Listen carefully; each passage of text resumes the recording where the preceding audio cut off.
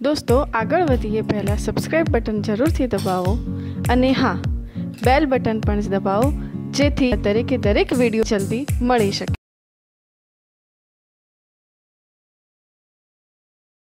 આજનો ટોપિક છે, અવરોધ ધરાવતો કેપેસિટરનો પરિપથ. અત્યાર સુધી માત્ર કેપેસિટરના પરિપથ જોયા હતા અને કેપેસિટરને આપણે સીધે સીધા શ્રેણી કે સમાંતરના નિયમો લાગુ પડતા હતા.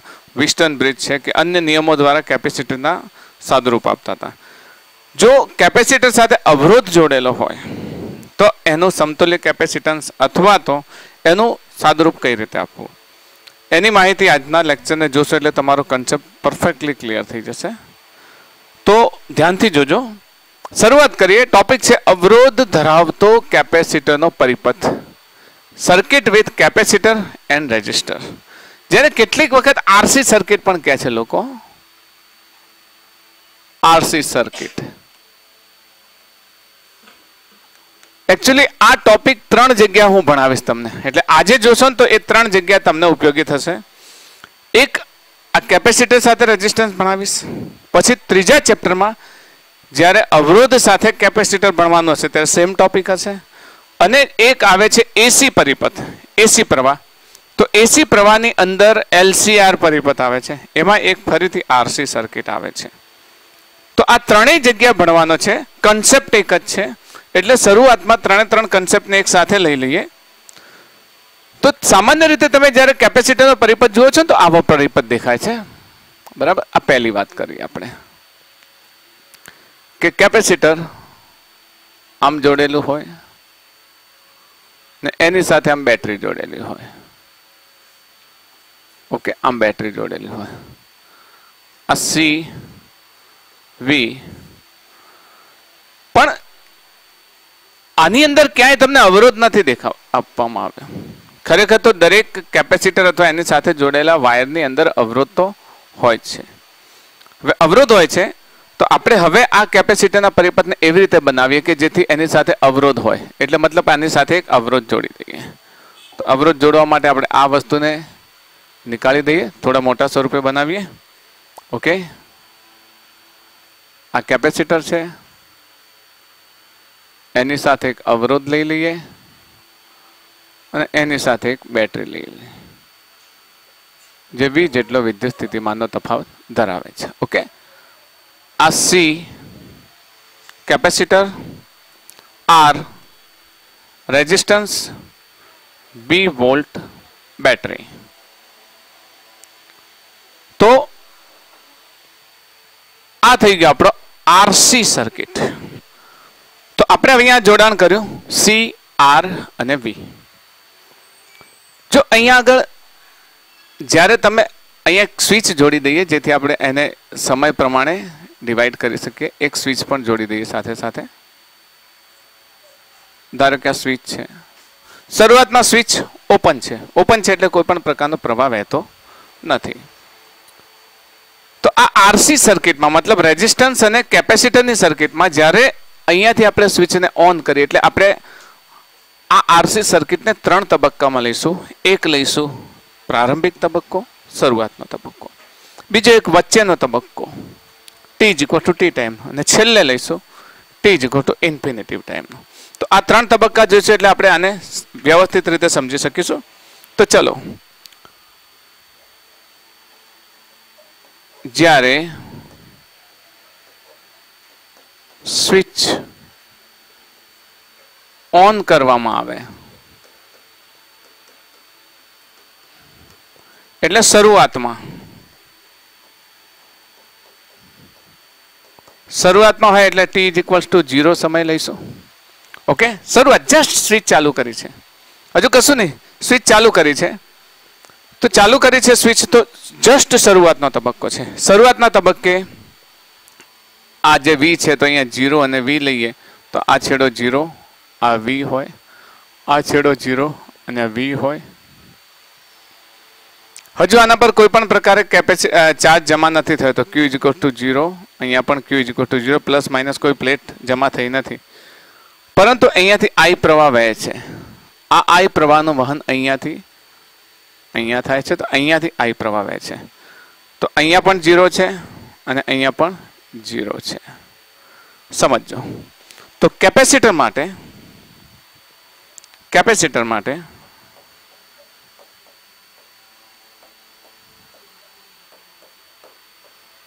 ક્યુ બરાબર ઝીરો આ ટોપિક જ્યારે તમે સમજશો તો તમને એટલી ખબર પડી જશે કે કેપેસિટરની સાથે જ્યારે અવરોધ આવે ત્યારે કેવા પ્રશ્નો પૂછાય છે. જો પેપરને નીટના પેપરને તમારે થોડુંક ટફ નીકાળવું હોય તો આવા પ્રશ્નો પૂછી શકે છે. એટલે તમારો કોન્સેપ્ટ ક્લિયર હોવો જોઈએ. પેપર ટફ નીકળે કે ઇઝી નીકળે? તમારો કોન્સેપ્ટ કમ્પ્લીટ હોવો જોઈએ ક્લિયર હોવો જોઈએ. ઓકે તો કેપેસિટર માટે શરૂઆતમાં Q is equal to zero Q is equal to zero હોય તો હવે એના બે છેડા વચ્ચેનો વિદ્યુત સ્થિતિમાનનો તફાવત લઈએ તો. Delta V is equal to સૂત્ર છે ને? શું છે? Delta V is equal to Q by C C is equal to Q upon V થાય ને? તો Q by C Q zero છે તો ડેલ્ટા વી પણ શું થશે? ઝીરો બે છેડા વચ્ચેનો વિદ્યુત સ્થિતિમાન જીરો હજુ જસ્ટ સ્વિચ ઓન કહે છે એટલે હજુ કોઈ પ્રવાહ, કોઈ વિદ્યુત ભાર એના પર જમા થયેલો નથી. અને વિદ્યુત ભાર જમા થયેલો ના હોય ત્યારે કેપેસિટર માટે ડેલ્ટા વી શરૂઆતમાં જીરો થાય.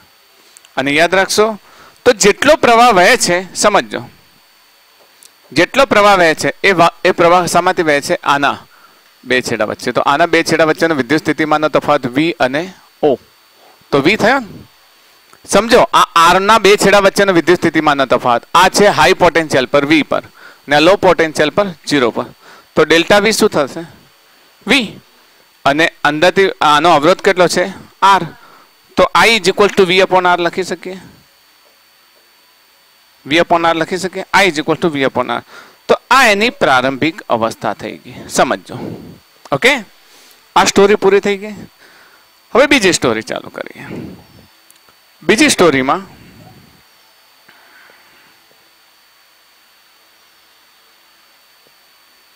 આ જ પરિપથ છે.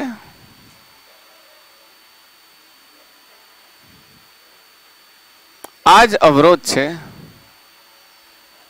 આપણે સ્વિચ ચાલુ કરી દીધેલી છે. અને થોડોક સમય વીતી જાય. આફ્ટર સમ ટાઈમ આપણી બેટરી ઓકે એનું કેપેસિટન્સ સી આનો અવરોધ આર આનું વિ- વિદ્યુત સ્થિતિમાન વી થોડા સમય બાદ ફિઝિક્સમાં થોડા સમય બાદ એટલે ટી બરાબર ટી સમય ઓકે થોડા સમય બાદ એટલે ટી બરાબર ટી સમય થોડા સમય બાદ શું થશે? કે કેપેસિટરની પ્લેટ પર વિદ્યુતભાર જમા થશે. આ બેટરી પોતે શું કરશે? એનો વિદ્યુત સ્થિતિમાન અહીંયા જીરો અને અહીંયા વી લઈએ. તો આ જીરો અને વી થશે. થોડો સમય વીતશે એટલે બેટરી શું કરશે? અહીંયાના જે નેગેટિવ ચાર્જ છે પોઝિટિવ ચાર્જ છે, એને આ નેગેટિવ ચાર્જને ઉઠાવીને આમ લઈ જશે, આમ લઈ જશે. વર્ક કરશે ને? બેટરી પોતે વર્ક કરશે. વર્ક કરશે એટલે કેપેસિટરના અહીંયાના પોઝિટિવ ચાર્જને અહીંયા જમા કરશે. નેગેટિવ ચાર્જને ઉપાડીને અહીંયા લઈ જશે. તો આ બેટરીનો આ છેડો શું થશે? પોઝિટિવલી ચાર્જ ને બેટરીનો આ છેડો કેવો થઈ જશે? આ પ્લેટ નેગેટિવ જમા થાય છે ને? એના પર શું થાય છે? વીજભાર જમા. તો આ પ્લેટ કેવી થશે? પોઝિટિવ ને આ પ્લેટ કેવી થશે? નેગેટિવ ઇનિશિયલી કશો વિદ્યુતભાર હતો નહીં. પણ હવે એની પર વિદ્યુતભાર આવ્યો. એની પર વિદ્યુતભાર આવ્યો. તો કેપેસિટર માટે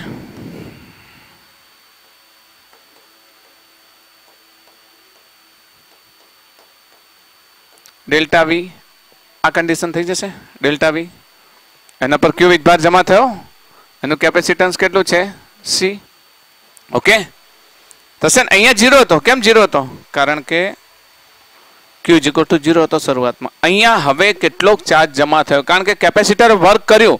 વર્ક કરીને અહીંયાના ચાર્જને માઇનસ ઇલેક્ટ્રોન્સને ઉઠાવી, ઉઠાવીને અહીંયા લાવી દીધા. અહીંયા લાવી દીધા એટલે હવે એના વચ્ચે કેટલોક વિદ્યુત સ્થિતિમાનનો તફાવત પ્રોડ્યુસ થયો. ઓકે તો આ વિદ્યુત સ્થિતિમાનના તફાવતને આપણે નામ આપીએ. ચલો, કેટલું? ડેલ્ટા વી ડેલ્ટા વી એટલે આ છેડાનો વિદ્યુત સ્થિતિમાન કેટલો થઈ જશે? ક્યુ અપોન સી આ છેડાનો તો ઓલરેડી જીરો છે જ. છે ને? આ છેડાનો જીરો છે. તો આ છેડાનો કેટલો થશે? Delta V Q upon C નો અર્થ શું થયો? આ હાઈ પોટેન્શિયલ પર. હાઈ પોટેન્શિયલ પર એટલે ક્યુ અપોન સી પર? ને આ લો પોટેન્શિયલ પર થાય છે. અહીંયા અવરોધ માટે શું કરીશું?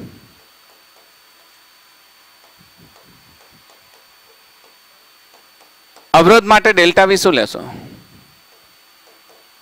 અવરોધ માટે ડેલ્ટા વી આ હાઈ પોટેન્શિયલ લો પોટેન્શિયલ દેખાય છે? આ હાઈ પોટેન્શિયલ અને આ લો પોટેન્શિયલ લો પોટેન્શિયલનું મૂલ્ય કેટલું છે? ક્યુ બાય સી તો delta V is to V minus Q by C તો હવે અહીંયાથી વહેતા પ્રવાહને આપણે કેટલો લખી શકીએ? આ જે પ્રવાહ વહે છે, એ પ્રવાહને કેટલો લખી શકીએ?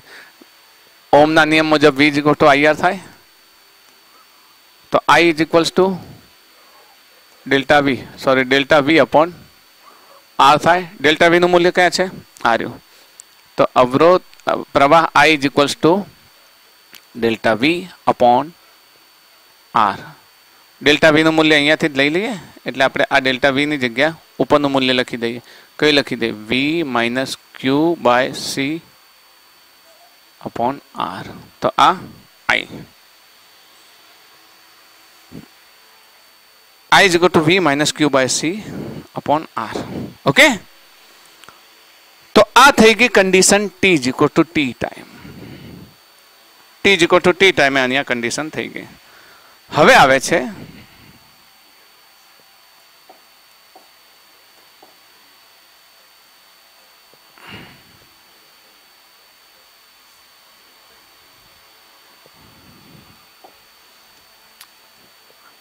જો પહેલું પહેલી સમ- અ, સંભાવના મતલબ પહેલો case T equal to zero time બીજો થોડા સમય બાદ હવે સ્થિર અવસ્થા સ્ટેડી કન્ડિશન કહેવાય T equal to infinitive time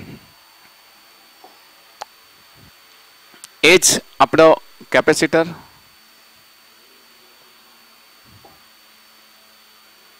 એ જ આપણું કેપેસિટર એ જ આપણું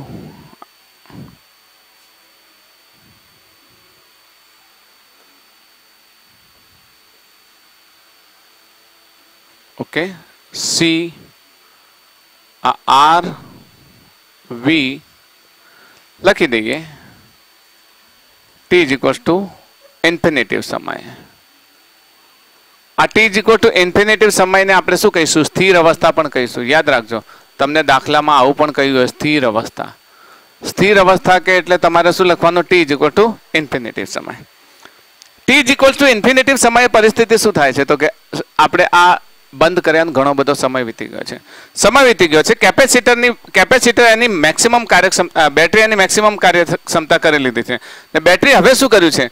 તો કેપેસિટરના બે છેડા વચ્ચે કેપેસિટર પર જમા થતો વિદ્યુત ભાર હવે બંધ થઈ ગયો છે. કેપેસિટર પર જમા થતો વિદ્યુત ભાર બંધ ક્યારે થશે?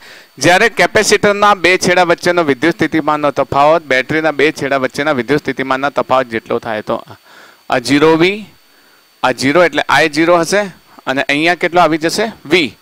અનંત સમયે, સ્થિર અવસ્થા સમયે.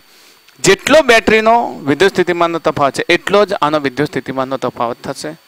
અને અહીંયા આગળથી વહેતો પ્રવાહ, અહીંયા વી છે અહીંયાથી વહેતો પ્રવાહ આઈ હોય. તો આવા સમયે કેપેસિટર માટે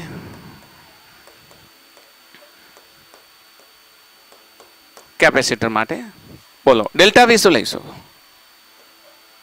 Delta V is equals to H કેટલો થશે? વી થશે ને? વી માઇનસ જીરો એટલે કેટલો થશે? વી વી માઇનસ જીરો એનો વિદ્યુત ભાર કેટલો થશે? એનો વિદ્યુત ભાર ક્યુ ઇઝ ઇક્વલ ટુ કેટલો લઈશું? આપણે એ જ સીવી સૂત્ર છે ને? Q is equal to CV વાળો. Q is equal to CV અને એનો પ્રવાહ એનો પ્રવાહ અવરોધ માટે સોરી અવરોધ માટે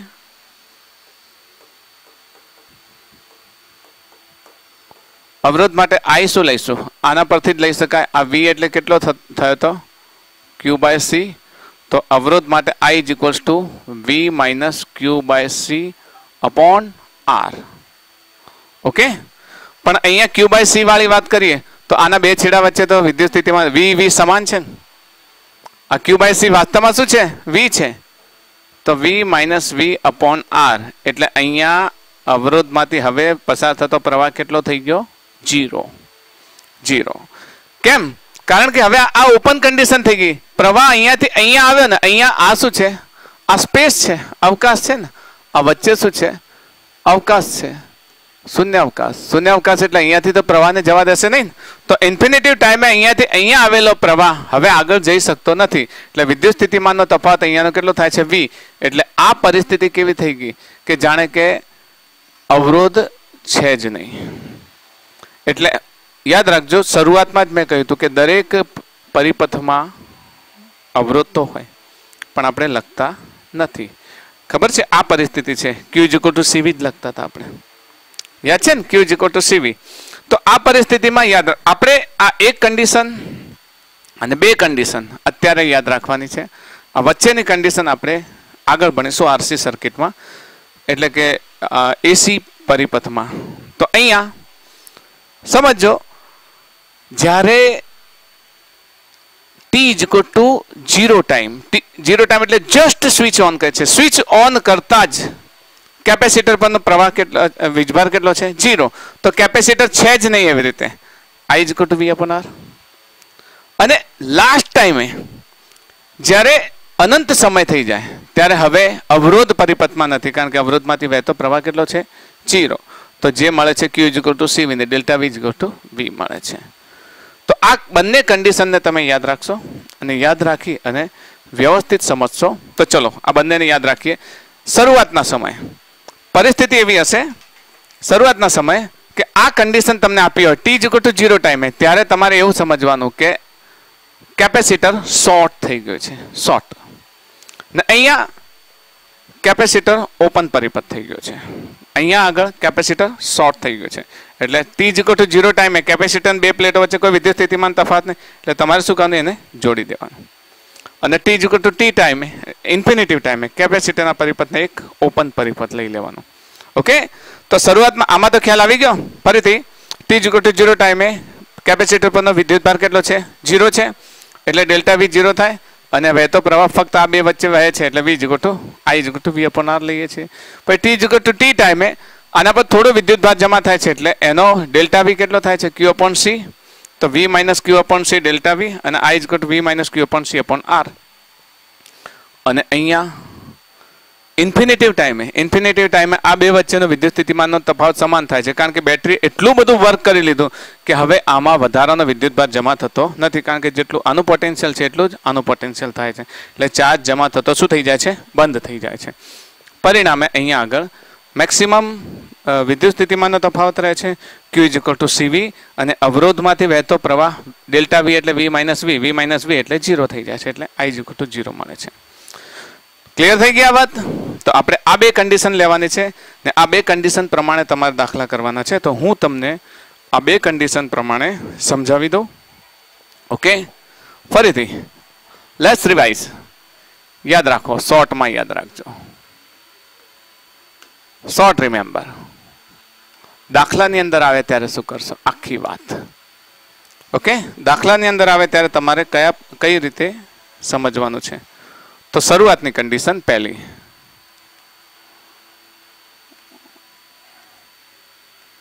શરૂઆતમાં, એટલે ટી બરાબર જીરો સમય. શું કરશો? તમને કેપેસિટર આપી દીધો છે, તમને અવરોધ આપી દીધો છે, તમને એક બેટરી આપી દીધી છે, જેનો વિદ્યુત સ્થિતિમાનનો તફાવત વી છે. ઓકે તો તમારે શું કરવાનું? વી એટલે આ જીરો ને વી પછી આ જીરો વી જીરો વી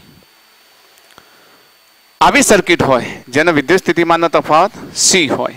તો આવા સમયે તમે એટલું તો જાણો છો ને કે આઈ પ્રવાહ વહે છે.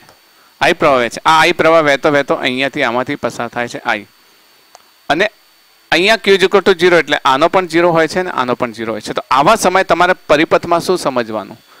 કે કેપેસિટરને શોર્ટ કરી નાખવાનું. ટી ઇક્વલ ટુ જીરો સમયની પરિસ્થિતિ આપીએ તો કેપેસિટર છે જ નહીં. સીધો વાયર છે. એટલે આ પરિપથને આવો લઈ લેશો. ફક્ત તમને શું દેખાવું જોઈએ? અહીંયા આગળ અવરોધ દેખાવો જોઈએ. અવરોધ દેખાય તો આઈ પ્રવાહ. એટલે કેપેસિટરને આપણે શું કરીએ છીએ? આ કેપેસિટરને શોર્ટ કરી દઈએ છીએ. શું કરી દઈએ છીએ? શોર્ટ શોર્ટનો સમજો છો ને? એક જ છેડા સાથે બંને જોડેલા છે. એટલે એના વચ્ચે આમ તમારે સમજી લેવાનું કે કંઈ છે જ નહીં. ઓકે? શોર્ટ કેપેસિટર કરી લેજો. તો હવે આ કન્ડિશનમાં તો તમે લખો છો. ટી જીકો ટુ જીરો સમયે. ટી જીકો ટુ જીરો સમયે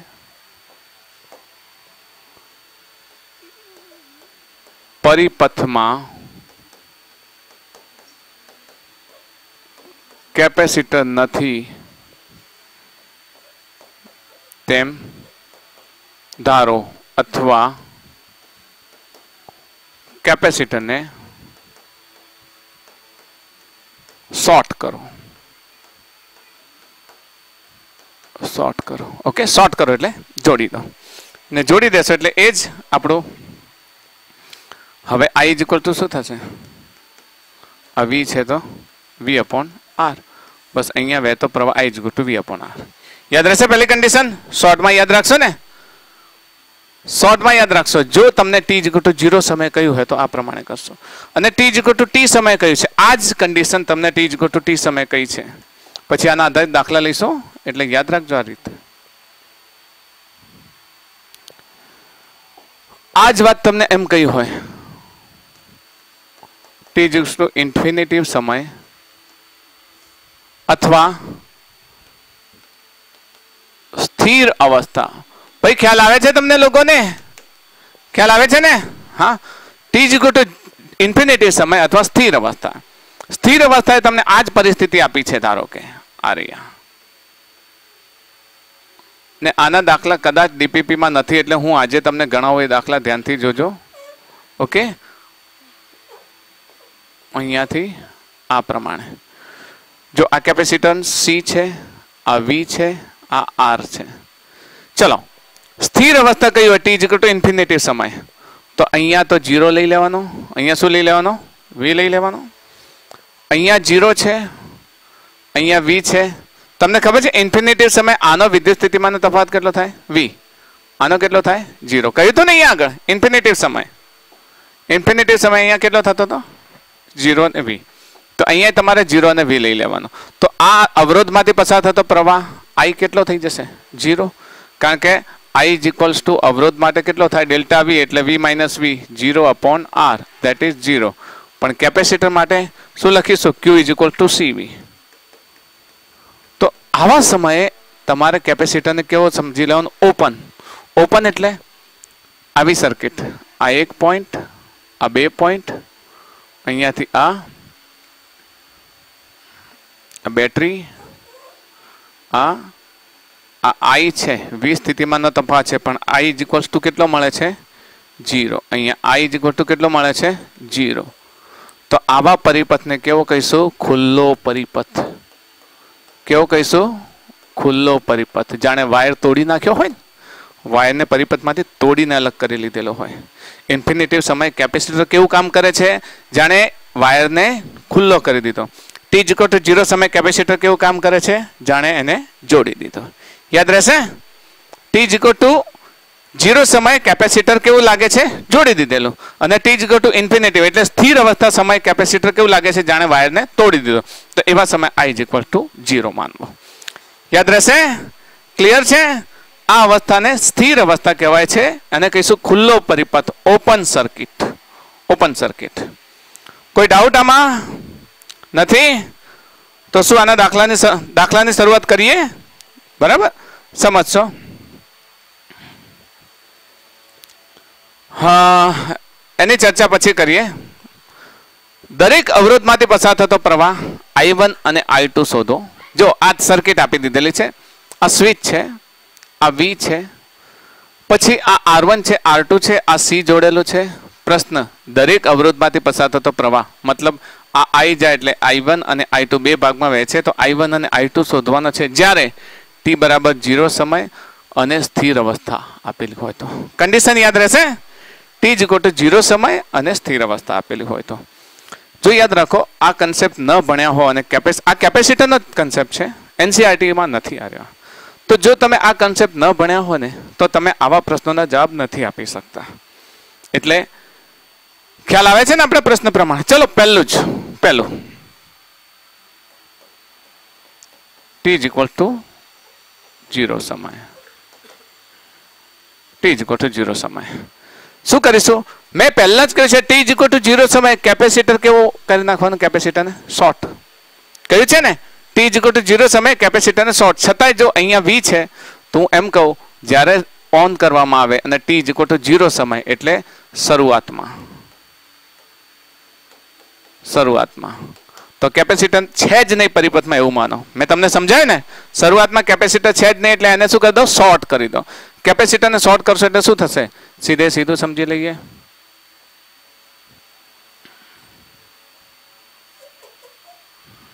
ઓકે થોડું રફ દોરું છું. કન્સેપ્ટ સમજજો. આઈ અહીંયાથી આઈ જાય છે. બે ભાગ પડે છે.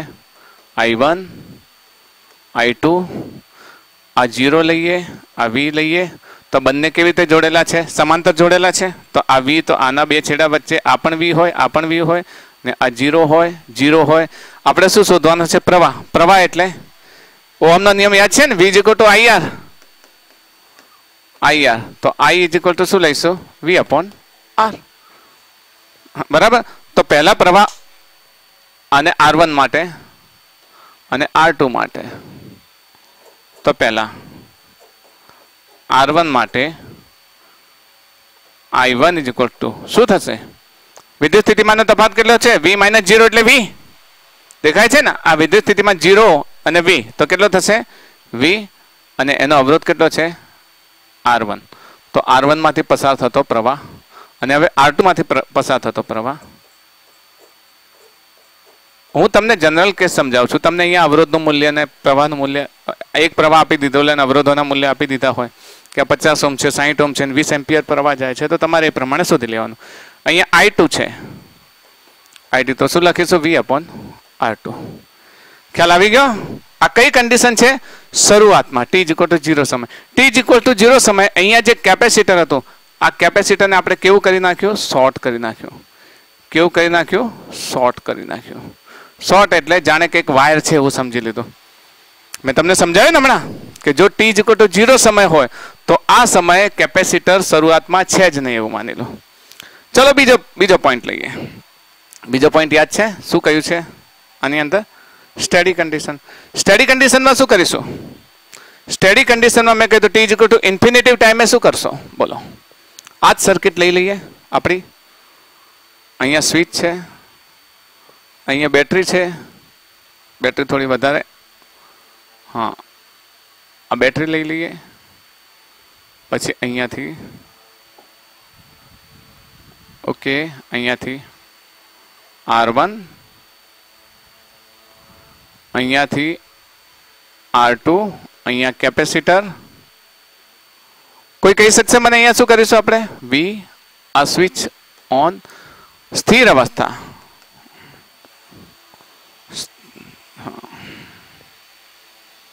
Okay okay okay okay okay okay ના ઓકે ના ઓકે હા ચલો તો તો અહીંયા આગળ લઈશું જીરો અને વી અહીંયા લઈશું જીરો અને વી અહીંયા લઈશું જીરો અને વી બોલો ટી ઇક્વલ ટુ જીરો સમય શું કરીશું યાદ અપાવો યાદ અપાવો મને ફટાફટ ટી ઇક્વલ ટુ સ્થિર અવસ્થા ટી ઇક્વલ ટુ ઇન્ફિનિટિવ ટાઈમે બોલો, ફટાફટ, ટી ઇક્વલ ટુ ઇન્ફિનિટિવ સમયે શું કરીશું? કેપેસિટરને શું સમજીશું? ઓપન કેપેસિટરને શું સમજ, હા, ખુલ્લો વાયર સમજીશું. ખુલ્લો વાયર સમજીશું એટલે અહીંયા પરિસ્થિતિ શું થશે? આને તો હવે બનાવતા નથી, ખાલી બેટરી બનાવી દઈએ. આ એક અવરોધ મળશે આપણને. મળશે ને? બીજો અવરોધ મળશે, પણ અહીંયા ખુલ્લો વાયર છે. ઓકે? ખુલ્લો વાયર છે ને? અહીંયાથી ખુલ્લો વાયર છે. અહીંયાથી આઈ જશે. બરાબર? અહીંયાથી આઈ જશે, અહીંયાથી આઈ જશે. પણ આ આઈ નું મૂલ્ય કેટલું થઈ જશે? જીરો કારણ કે આ વાયર ખુલ્લો છે એટલે અહીંયાથી આઈ તો જઈ શકશે નહીં. કારણ કે પ્રવાહ ક્યારે જાય? જ્યારે ક્લોઝ હોય ત્યારે. આ શું છે? ઓપન સર્કિટ છે. એટલે અહીંયાથી કોઈ પ્રવાહ નહીં જશે. જેટલો જવાનો હશે એ પ્રવાહ ક્યાંથી જશે? અહીંયાથી. તો એના વિદ્યુત સ્થિતિમાનનો તફાવત જીરો અને વી લઈએ. જીરો અને વી લઈએ અને આર વન કહીએ અને આને આર ટુ કહીએ તો લખી શકીએ. I one is equals to V upon R one એટલું ને એટલું થવાનું ને? જેટલું અહીંયા તો જો, એ જ કન્ડિશન છે. વી અપોન આર વન પણ I two is equal to શું થશે? I two is equal to zero લઈશું. કેમ જીરો લઈશું? કારણ કે આ સર્કિટ કેવી છે? ઓપન સર્કિટ આ સર્કિટ કેવી છે? ઓપન સર્કિટ અને ઓપન સર્કિટની અંદર ક્યારેય પ્રવાહ વહેતો નથી. This is the concept of the RC circuit okay RC સર્કિટનો આ કન્સેપ્ટ છે કે જ્યારે પણ સ્થિર અવસ્થા હોય ત્યારે કેપેસિટર એક ખુલ્લા પરિપથ તરીકે વર્તે અને એ બ્રાન્ચમાંથી પ્રવાહ પસાર થવા દેતો નથી. ઇઝ ધેટ ક્લિયર ક્લિયર થઈ ગયો? જ્યારે આરસી સર્કિટ હોય તો આરસી સર્કિટની અંદર પ્રવાહ સ્થિર અવસ્થામાં જે બ્રાન્ચમાં કેપેસિટર હોય, એ બ્રાન્ચમાંથી પ્રવાહ વહેતો નથી. કારણ કે એ પરિપથ કેવો થઈ જાય છે ઓપન અને શરૂઆતમાં એ જ કેપેસિટર કેવું થઈ જાય છે? ક્લોઝ બંધ પરિપથ થઈ જાય છે. યાદ રહેશે? શરૂઆત જો ટી ટુ જીરો સમય કીધું હોય જસ્ટ શરૂઆતમાં. જસ્ટ શરૂઆતમાં કીધું તો તમારે એમ જ માનવાનું કે કેપેસિટર પરિપથમાં છે જ નહીં. અને જો ઇન્ફિનિટિવ સમય કીધો તો જે બ્રાન્ચમાં કેપેસિટર છે, એ બ્રાન્ચમાંથી પ્રવાહ વહી શકશે નહીં, કારણ કે એ કેવું થઈ જાય છે? જીરો થઈ જાય છે. ક્લિયર થઈ ગયો? એના પર પ્રવાહ સ્ટોર થાય છે, પણ આને આપણે શું કરીશું ઓપન સર્કિટ માનીને ચાલીશું. ઓકે જરા હજુ આગળ જઈએ આપણે, એટલે વધારે ખ્યાલ આવે. તો અને એક બીજો દાખલો લઈ લઈએ. બરાબર? અહીંયા એક બીજો દાખલો. કે આપેલા પરિપથ માટે સમતુલ્ય અવરોધ શોધો. જ્યારે ટી જીરો તથા સ્થિર અવસ્થા હોય. તમે કરી શકો આમાં? કે આને આપેલા પરિપથ માટે કઈ રીતે શોધવો? તો એના માટે ટી ઇક્વલ ટુ જીરો સમય. પહેલી પરિસ્થિતિ. આ ગણાવી દઉં, પછી હું તમને એક દાખલો આપું છું. તો પરિસ્થિતિ પહેલી એક. ટી ઇક્વલ ટુ જીરો સમય. બોલો સર્કિટ કેવી બનાવીશું? હવે તમે મને ફટાફટ સર્કિટ બનાવડાવો ચલો. અહીંયા શું થશે? એ અહીંયાથી આ એક અવરોધ, આ બે અવરોધ. કેપેસિટરને બનાવીશ? ટી ઇક્વલ ટુ જીરો સમય. કે નહીં? કેપેસિટરને કેવું સમજવાનો? શોર્ટ અને પછી સીધે સીધો અહીંયા નીચે બનાવીશું. અને નીચે તો ફોર ઓમનો એક અવરોધ છે જ. બરાબર? આ two ohm two ohm two ohm આને આપણે શું કરીશું? શોર્ટ કેપેસિટર કેવું થઈ ગયો? શોર્ટ થઈ જાય છે. ઓકે શોર્ટ કેપેસિટર થઈ જાય. શોર્ટ કેપેસિટર થઈ જાય તો હવે તો સીધે સીધો. આ અવરોધ કેવા છે? શ્રેણીમાં? બે વત્તા બે. ચાર ઓમ થઈ ગયો? સમજો છો ને? બે વત્તા બે કેવા થઈ ગયા? ચાર ઓમ થઈ ગયા? આ ચાર ઓમ ને ચાર ઓમ ને બે ઓમ ને અહીંયા ચાર ઓમ લઈશું. ચાર ઓમ છે. અને હા. આ ચાર ઓમ ને ચાર ઓમ સમાંતરમાં છે. તો એના અડધા થઈ જશે. બે ઓમ થઈ જાય. સમજો છો ને? હા, તો અવરોધ શોધો. તો અહીંયા લખી શકીએ. કે સમતુલ્ય અવરોધ સીધે સીધો.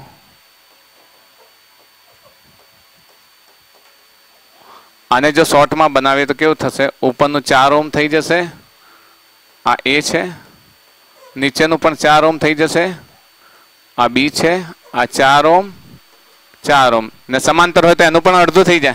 અથવા તો ચાર ગુણ્યા ચાર છેદમાં ચાર વત્તા ચાર. ચાર ચોક સોળ ભાગ્યા આઠ એટલે બે ઓમ તો સમતુલ્ય અવરોધ ઇક્વાવેલન્ટ રેઝિસ્ટન્સ કેટલો થશે? બે ઓમ ખ્યાલ આવી ગયો? હમ? અને બીજી પરિસ્થિતિ બીજી પરિસ્થિતિ શું કહી છે? સ્થિર અવસ્થા હોય ત્યારે. સ્થિર અવસ્થામાં શું કરશો? સ્થિર અવસ્થામાં શું કરશો? હા. સ્થિર અવસ્થામાં પરિપથને કેવો માનવાનો? કેપેસિટરને કેવું કરીશું? શોર્ટ. ના શોર્ટ નહીં, ખુલ્લું. ઓકે કેપેસિટર ખુલ્લું થઈ જશે, એટલે આપણે અહીંયા એથી સ્ટાર્ટ કરીએ, ચલો.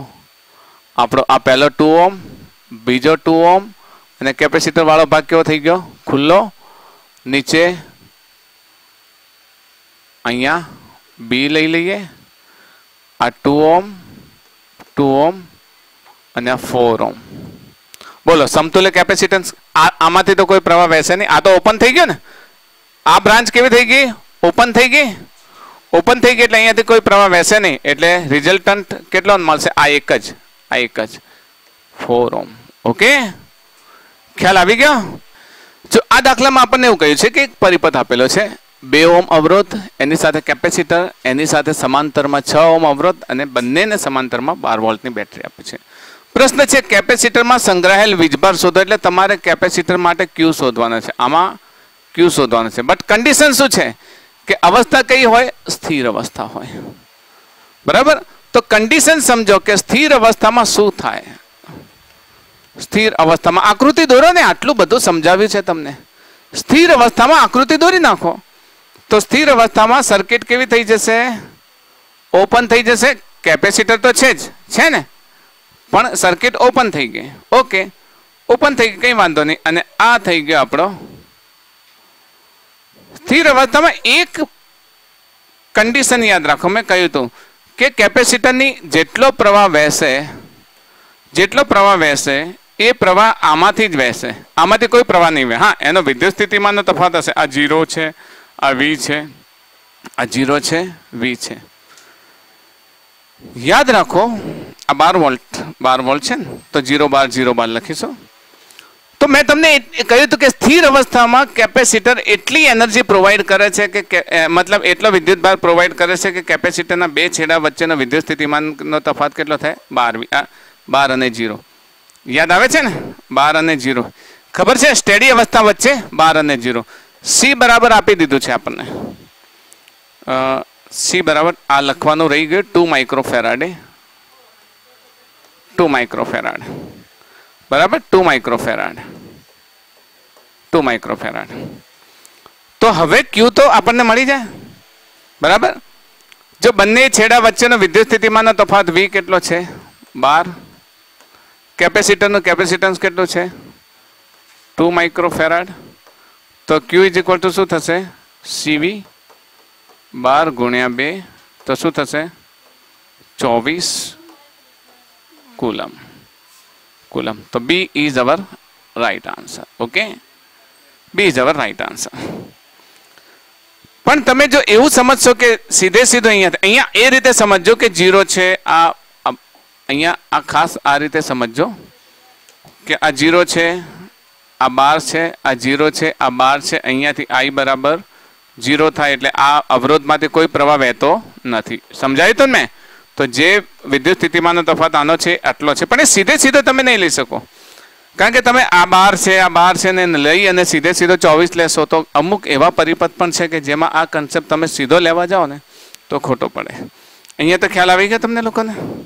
કે આ બ્રાન્ચમાંથી વહેતો પ્રવાહ આઈ બરાબર જીરો. કેમ? કારણ કે કેપેસિટરે એટલો વિદ્યુત સ્થિતિમાનનો તફાવત અહીંયા આપી દીધો છે કે જેથી હવે કોઈ ચાર્જ જમા થતો નથી. કોઈ ચાર્જ જમા થતો નથી એટલે ચાર્જ ફ્લો થતો નથી. ને ચાર્જ ફ્લો ન થાય તો અહીંયાથી વહેતો પ્રવાહ જીરો છે. પણ આ તો ચાર્જ થયેલું કેપેસિટર છે ને, તેનો વિદ્યુત સ્થિતિમાન કેટલો છે? બાર. અને એ કેપેસિટન્સ કેટલો છે? બે માઇક્રોફેરાડે તો Q is equal to CV પરિસ્થિતિ, સ્થિર અવસ્થા. ઓકે સ્થિર અવસ્થા.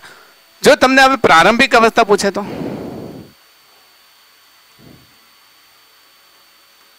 પ્રારંભિક પ્રશ્ન પ્રશ્ન પહેલા સમજો. પ્રારંભિક અવસ્થામાં આપણે બે ઓમ લખી દઈએ? હા, બે ઓમ બે ઓમ અવરોધમાંથી, બે ઓમ અવરોધમાંથી, વહેતો પ્રવાહ કેટલો? ચલો, મેં આમાં એડિશનલ પ્રશ્ન પૂછી લીધો. કેટલો થાય? પ્રારંભિક અવસ્થા. પ્રારંભિક અવસ્થા એટલે આપણે કેવું લઈશું?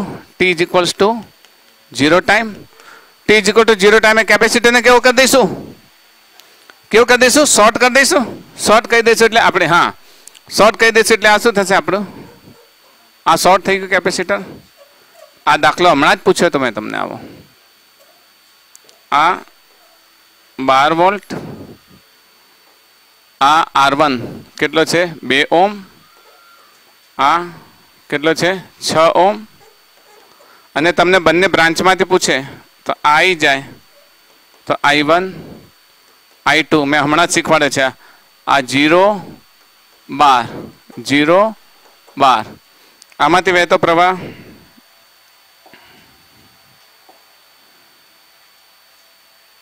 આમાંથી વહેતો પ્રવાહ લેવાનો છે. આમાંથી વહેતો. તો આમાંથી વહેતો પ્રવાહ લેવો છે. બોલો. બોલો, કોઈ મુશ્કેલી છે? આમાંથી વહેતો પ્રવાહ. તો આમાંથી વહેતો પ્રવાહ કેટલો થશે? બોલો. વિદ્યુત સ્થિતિમાન તફાવત કેટલો છે? બાર. અને આર, તો આઈ ઇઝ ઇક્વલ્સ ટુ બાર ભાગ્યા બે. એટલે છ એમ્પિયર થશે. અને આમાંથી વહેતો પ્રવાહ લેવો છે? આમાંથી વહેતો પ્રવાહ. તો આમાંથી વહેતા પ્રવાહને આને આઈ વન લખીએ તો આને આઈ ટુ કહીએ. તો આઈ ટુ ઇઝ અથવા આને આઈ ટુ કહીએ અને આને આઈ વન કહીએ. કયું છે એ પ્રમાણે આને આઈ વન કહીએ અને આને આઈ ટુ કહીએ. ઓકે તો I one is equal to શું થશે? બાર ભાગ્યા છ. એટલે શું થશે? બે એમ્પિયર. એટલે તમને એડિશનલ જે પણ પૂછે તમારે જવાબ આપી દેવાનો. આપી શકો ને તમે? આપી શકો ને? પહેલામાં મેં તમને એ રીતે શીખવાડ્યું હતું કે V upon R one V upon R two અહીંયા તમને વેલ્યુઝ મૂકી છે. વાત તો એકની એક જ છે. પણ અહીંયા મેં એક એડિશનલ પ્રશ્ન પૂછ્યો હતો કે સંગ્રહાયેલો વીજભાર શોધો. તો વીજભાર માટે કન્સેપ્ટ આ સ્થિર અવસ્થાવાળો યાદ રાખજો. યાદ રહેશે તમને? હવે એક હજુ પ્રશ્ન પૂછવો છે અને એ પ્રશ્ન તમને આપવો છે હોમવર્કમાં. તમે ટ્રાય કરશો ને હોમવર્કમાં? ઓકે? મારા ઓનલાઈન વિદ્યાર્થીઓ, તમે જ્યારે પણ આ દાખલો ગણો તેનો કમેન્ટ કમેન્ટ બોક્સમાં લખજો. આજે હું આપું છું દાખલો, એનો જવાબ કમેન્ટ બોક્સમાં લખશો. પ્રશ્ન નંબર જે પણ હોય. આઈ થિંક ચોથો પ્રશ્ન છે તો બનાવી દઉં હમ.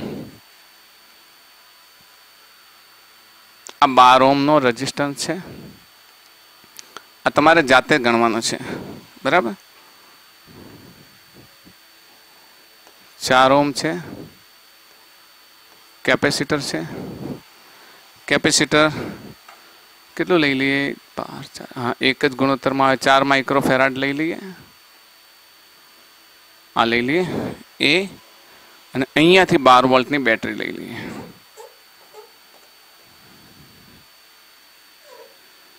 બાર ચાર છ ચોવીસ વોલ્ટ લઈ લો ચલો ને ચોવીસ વોલ્ટ લઈ લો ચોવીસ વોલ્ટ તો એ જ પ્રશ્ન સ્થિર અવસ્થામાં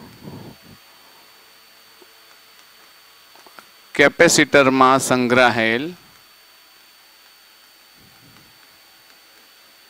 સંગ્રહાયેલ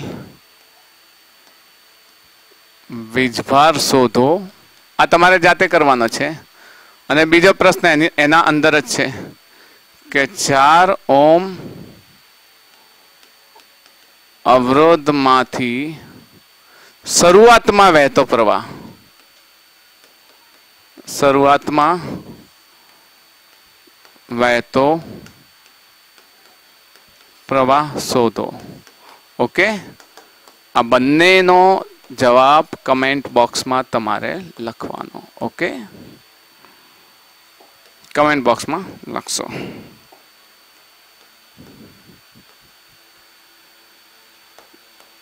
આનો જવાબ કમેન્ટ બોક્સમાં લખશો. તો આજના લેક્ચરને આપણે પૂર્ણ કરીએ છીએ.